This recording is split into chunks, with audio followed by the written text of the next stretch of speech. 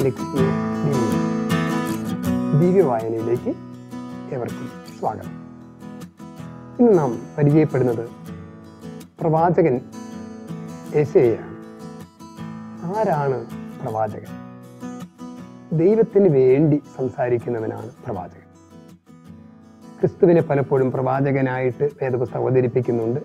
എങ്കിലും ക്രിസ്തു പ്രവാചകനേക്കാൾ വലിയവനാണ്. കാരണം ക്രിസ്തു ദൈവത്തിന് വേണ്ടി സംസാരിച്ചവൻ മാത്രമല്ല ദൈവം തന്നെയാണ് ദൈവപുത്രനാണ് വചനമാണ്. ക്രിസ്തുവിനെ പ്രവാചകനായിട്ട് കാണുന്ന കാഴ്ചപ്പാടുകളെക്കാൾ അവന് ദൈവമായിട്ട് കാണുന്ന കാഴ്ചപ്പാടാണ് ഏറ്റവും ശരിയായിട്ടുള്ളത്. നാം പഴയ നിയമത്തിലേക്ക് കടന്നു ചെല്ലുമ്പോൾ ധാരാളം പ്രവാചകന്മാരെ കണ്ടുമുട്ടുന്നു. അതിൽ വലിയ ഒരു പ്രവാചകനെയാണ് ഇന്ന് നാം പരിചയപ്പെടുന്നത്. അത് ഏസയ്യ പ്രവാചകൻ. ക്രിസ്തുവിന് മുൻപ് എട്ടാം നൂറ്റാണ്ടിന്റെ പകുതിയിൽ പ്രവാചക ദൗത്യം നിറവേറ്റാൻ കടന്നു വന്നവനാണ് ഏസയ്യ. ആ വാക്കിന്റെ അർത്ഥം യാഹുവെയാണ് രക്ഷ. ഇഷായാഹു ആ ഹിബ്രു വാക്കിൽ നിന്നാണ് എസയ്യ എന്നുള്ള പദം രൂപം കൊള്ളുന്നത്. യാഹുവെയാണ് രക്ഷ. ഈ സന്ദേശമാണ് ഈ പ്രവാചക ഗ്രന്ഥത്തിൽ ഉടനീളം അവതരിപ്പിക്കാൻ ശ്രമിക്കുന്നത്. യാഹുവെ ദൈവമാണ് രക്ഷ. നമുക്ക് ഏശയായി ഒന്ന് പരിചയപ്പെടാം. ആമോസിന്റെ പുത്രനാണ്. ഒരു കുലീന കുടുംബത്തിൽപ്പെട്ടവനാണ്. സാംസ്കാരികമായി ഉയർന്ന ഒരു വ്യക്തിത്വമാണ്. പ്രവചനങ്ങളുടെ സാഹിത്യമേന്മ പരിശോധിച്ചാൽ സാംസ്കാരികമായി ഉയർന്ന വ്യക്തിയാണെന്ന് ബോധ്യമാകും. ഏഴാം അധ്യായം മൂന്ന് എട്ടാം അധ്യായം രണ്ട് വാക്യങ്ങളിലൊക്കെ കുടുംബമഹിമയെക്കുറിച്ചൊക്കെ നമുക്ക് കാണാൻ സാധിക്കും. അദ്ദേഹത്തിന്റെ ഭാര്യ ഏസയുടെ ഭാര്യയും ഒരു പ്രവാചകയായിരുന്നു. രണ്ട് പുത്രന്മാരാണ് ഏസയായിട്ടുള്ളത്. ഷെയർ യഷൂബ് തിരിച്ചെത്തുന്ന ശിഷ്ടഭാഗം മഹർഷലാൽ ഹസ്ബസ്. നാശം വന്നെടുക്കുന്നു ഇര ഓടി അകരുന്നു. ഇത് രണ്ടും ഈ രണ്ട് പേരുകളും പ്രവാചകന്റെ സന്ദേശങ്ങളോട് ഏറെ ചേർന്ന് നിൽക്കുന്നതാണ്. ഈ പുസ്തകം രൂപം കൊള്ളുന്നത് എങ്ങനെയാണ്? അതിനെക്കുറിച്ച് വ്യത്യസ്തമായ അഭിപ്രായങ്ങളുണ്ട്. പതിനെട്ടാം നൂറ്റാണ്ട് വരെ പണ്ഡിതന്മാർ മനസ്സിലാക്കിയിരുന്നത് ഈ അറുപത്തിയാറ് അധ്യായവും ഏഷ്യ തന്നെയാണ് രചിച്ചത് എന്നത് എന്നാണ്. എന്നാൽ പിന്നീട് വന്ന പഠനങ്ങൾ തെളിയിക്കുന്നത് വ്യത്യസ്ത കാലങ്ങളിലായിട്ട് രചിക്കപ്പെട്ട ഒരു പുസ്തകമാണിത്. ഉള്ളടക്കം ക്രോഡീകരിച്ചത് ഒരു വ്യക്തിയായിരിക്കാം. ഇതിലെ സാഹിത്യശൈലി ആശയങ്ങളുടെ വ്യത്യാസം ഇവ പരിഗണിക്കുമ്പോൾ ഈ പുസ്തകം പല വ്യക്തികളാൽ രചിക്കപ്പെട്ടു എന്ന് അനുമാനിക്കുന്നതിൽ തെറ്റില്ല. അതുകൊണ്ട് ബൈബിൾ പണ്ഡിതാക്കൾ ഇതിനെ മൂന്ന് ഭാഗമായിട്ട് തിരിക്കുന്നു. ആദ്യ ഭാഗം ഏസയ്യ തന്നെ എഴുതിയതാകാം. രണ്ടാം ഭാഗം രണ്ടാം ഏസയ്യ എന്ന പേരിൽ അറിയപ്പെടുന്നു. നാൽപ്പത് മുതൽ അൻപത്തിമൂന്ന് വരെയുള്ള അധ്യായങ്ങൾ. അൻപത്തിനാല് മുതൽ അറുപത്തിയാറ് വരെയുള്ള അധ്യായങ്ങൾ മൂന്നാം ഏസയ്യയുടെ പേരിലും അറിയപ്പെടുന്നു. പുസ്തകത്തിന്റെ ഉള്ളടക്കം.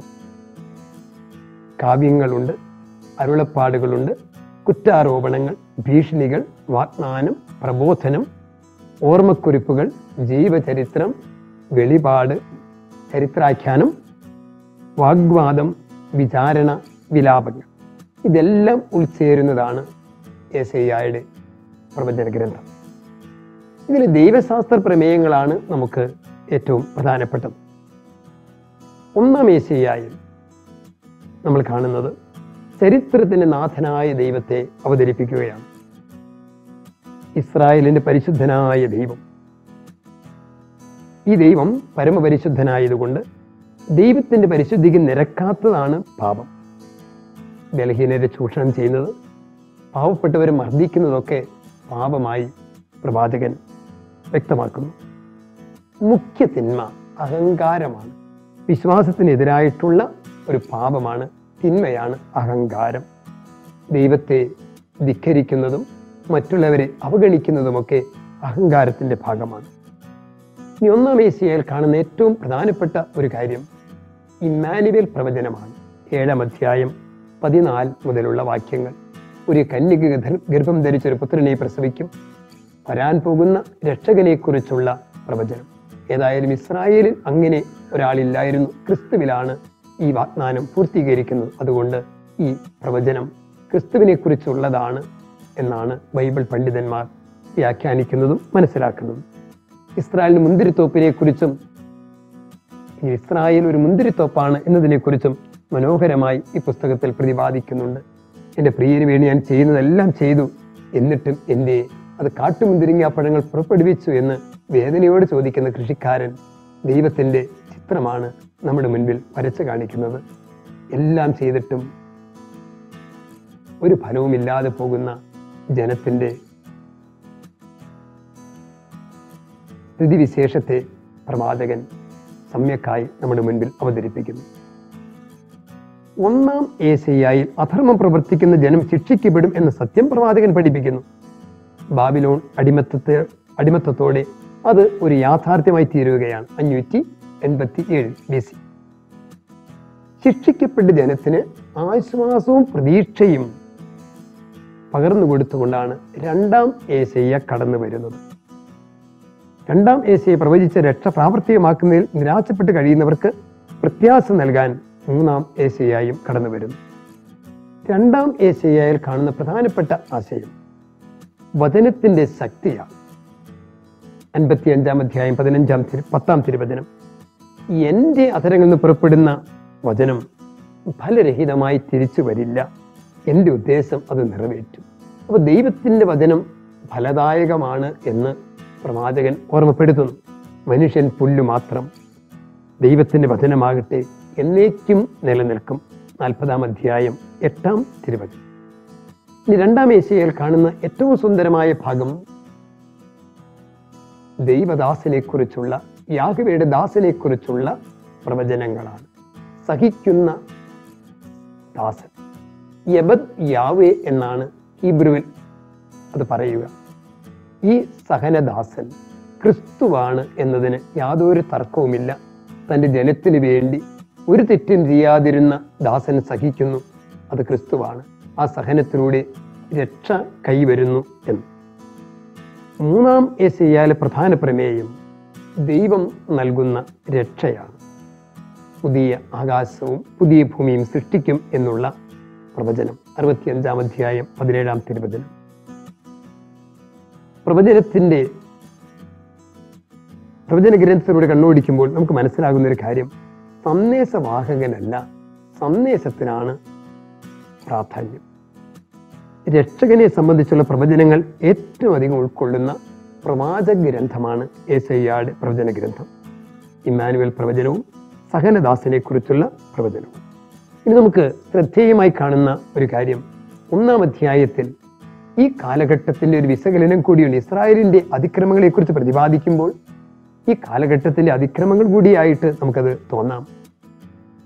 കർത്താവ് അരുളി ചെയ്യുന്നു ഞാൻ മക്കളെ പോറ്റി വളർത്തി എന്നാൽ അവർ എന്നോട് കലഹിക്കുന്നു. കാള അതിന്റെ ഉടമസ്ഥനെ അറിയുന്നു കഴുത അതിന്റെ യജമാനിന്റെ തൊഴുത്തും. എന്നാൽ ഇസ്രായേൽ ഗ്രഹിക്കുന്നില്ല എന്റെ ജനം മനസ്സിലാക്കുന്നില്ല. നന്ദിയില്ലാത്ത ജനത്തെക്കുറിച്ചുള്ള ദൈവത്തിന്റെ ആകുലത പ്രവാചക വാക്കുകൾ നിറഞ്ഞു നിൽക്കുന്നു. ഈ കാലഘട്ടത്തെ ഈ സംവിധാനങ്ങളെക്കുറിച്ച് പ്രവാചകൻ പറഞ്ഞു വെക്കുന്നത് ഇങ്ങനെയാണ്. തിന്മ നിറഞ്ഞ രാജ്യം അനീതിയുടെ ഭാരം വഹിക്കുന്ന ജനം ദുഷ്കർമ്മികളുടെ സന്തതികൾ ദുർമാർഗികളായ മക്കൾ ഇവർ കർത്താവിനെ പരിത്യജിക്കുകയും ഇസ്രായേലിന്റെ പരിശുദ്ധിനെ നിന്ദിക്കുകയും ചെയ്തു. അവർ എന്നിൽ നിന്നും തീർത്തും അകന്നുപോയി. ഇത് നമ്മെക്കുറിച്ച് കൂടിയുള്ള വേദനയാണ്. ഇനിയും ഈ പ്രവചന ഗ്രന്ഥം തരുന്ന ആശ്വാസത്തിന്റെ സന്ദേശവും കൂടിയുണ്ട്. വളരെ മനോഹരമായി നമ്മൾ ഇപ്പോഴും ആവർത്തിക്കുന്ന വചനഭാഗം എസിയുടെ പ്രവചന ഗ്രന്ഥം നാൽപ്പത്തി ഒൻപതാം അധ്യായം പതിനഞ്ചാം തിരുവചനം. മുല കുടിക്കുന്ന കുഞ്ഞിനെ അമ്മയ്ക്ക് മറക്കാനാവുമോ? അമ്മ കുഞ്ഞിനെ മറന്നാലും ഞാൻ നിന്നെ മറക്കില്ല. ഞാൻ നിന്നെ എന്റെ ഉള്ളം കയ്യിൽ രേഖപ്പെടുത്തിയിരിക്കുന്നു. പ്രത്യാശയുടെ ആശ്വാസത്തിന്റെ സ്നേഹത്തിന്റെ സന്ദേശം. തെറ്റിനെ തിരുത്താനും പ്രത്യാശ അർപ്പിക്കാനും ദൈവം സ്നേഹിക്കുന്നു. ദൈവത്തിന്റെ കൈവെള്ളിയിൽ നമ്മുടെ പേരെഴുതി വെച്ചിരിക്കുന്നു എന്ന് പറഞ്ഞു തരാനും നമുക്ക് വേണ്ടി മരിക്കുന്ന സഹനദാസൻ ഉണ്ട് എന്ന് ഓർമ്മപ്പെടുത്താനും ഈ ഗ്രന്ഥപാരായണം തീർച്ചയായും നമ്മെ സഹായിക്കും. ഏശയായി നമുക്ക് സാവധാനം അനുഭാവപൂർവം വായിച്ച് അനുഭവിക്കാൻ ആ സന്ദേശം ഉൾക്കൊള്ളാൻ സാധിക്കട്ടെ.